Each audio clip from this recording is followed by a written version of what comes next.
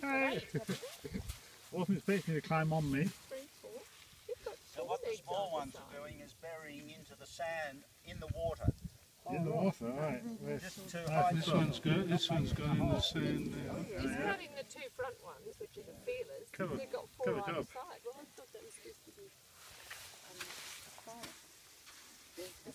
haven't read the same book. No, not me.